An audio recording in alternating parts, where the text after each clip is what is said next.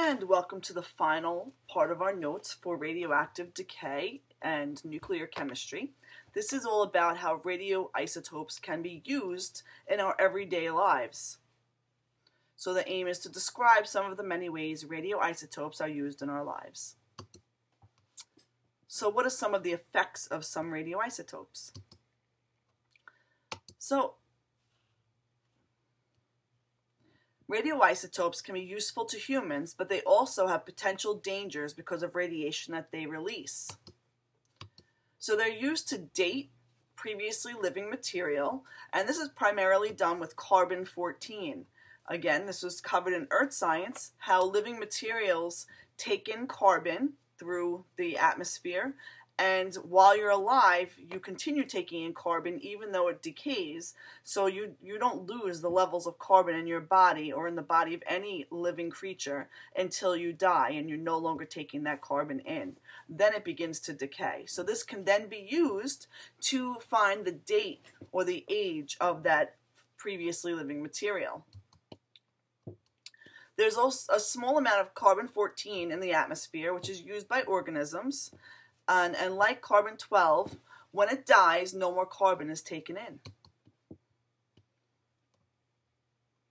Carbon 14 has a half-life of 5,730 years. So in that time, half of the radioactive material will become stable. It decays into nitrogen 14.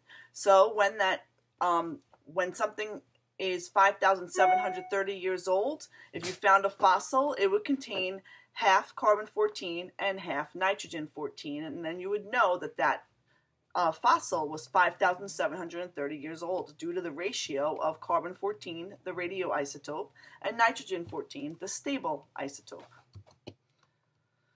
So you determine the age of the organism based on how much carbon 14 is left in the organism. Uranium 238 decays to become stable lead 206. As time passes, the amount of lead increases and uranium decreases. These are used to date rock and geological formations. These are typically used to date very old rock and formations. Uh, since the half-life of uranium-238 is about 4.51 billion years, which is about the age of the Earth. So if we find material that is half decayed, we know it's about the age of the Earth. It would have about half uranium-238 and half lead-206. That would mean one half-life has gone by, and it would be about the same age as the Earth. The oldest uh, rock material we found is a little over 4 billion years old, and it was found somewhere in Canada. Chemical tracers are radioactive materials that can be detected um, in a substance and some in the human body as well. So a tracer is a radioisotope that's used to follow the path of a material in a system. So it traces a path. Radioactive phosphorus 31 is used in fertilizers because it can be detected in plants. So carbon 14 is used to map the path of carbon in metabolic processes. Industrial applications means where it can be used in industry. Materials absorb radioactive isotopes and gamma rays. The thicker the material, the more radiation is absorbed. Radio radiation products can be used to measure how thick materials are. Plastic wrap and aluminum foil are one of those products that is used to measure how, how much radiation penetrates. They test the strength of a weld. Medical applications, which some of you may be familiar with, are when radioactive isotopes that have short half-lives, they're used because they leave the body very quickly, so it doesn't cause damage to healthy tissue.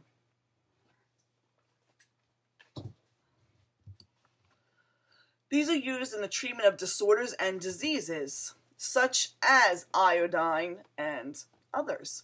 They're also used to make material free from bacteria or other disease-causing organisms. Iodine 131 is used for the detection and treatment of thyroid conditions. Iodine um, that accumulates in the thyroid gland, so small amounts of iodine 131 can be given to a patient to see if something is wrong. It also can be given in large doses to destroy some of the thyroid, so it has more than one application. Cobalt 60. This emits large amounts of gamma radiation, which gamma, of course, is very penetrating and has no mass and no charge. It is given off to kill cancerous tumors. So it can be very dangerous, but it also is used to destroy tumors. Gamma radiation is also used in food to kill bacteria and other germs with on uh, produce, fruits, vegetables, spices, meats. So cobalt 60 and cesium 137 emit gamma radiation in a way that's useful for food products.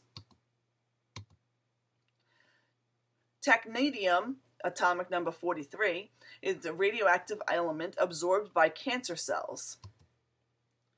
So TC99 is given to patients and can be detected by a scan.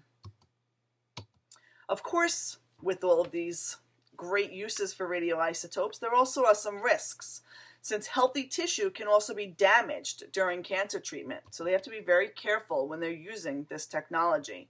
High doses can cause illness and death. It can mutate your cells. So there's always, a, they're trying to make sure you're not exposed to too much additional radiation. So these mutations could then be passed on to your offspring. They can damage your cells and make you infertile. So it's really important that you limit your your um, exposure. Nuclear power plants have material with half long half-lives. This means they stay around for a really long time. Okay, these products though are hard to store and hard to dispose of. Nobody wants these products disposed of or used near their house. So, you know, for obvious reasons, there have been some issues. However, many countries use nuclear power plants with not no problems. France, for example, uses 97% nuclear power in their country. Okay, they can cause nuclear accidents, which could be, cause radiation to leak into the water or the air. And that completes our notes, and I will see you in class.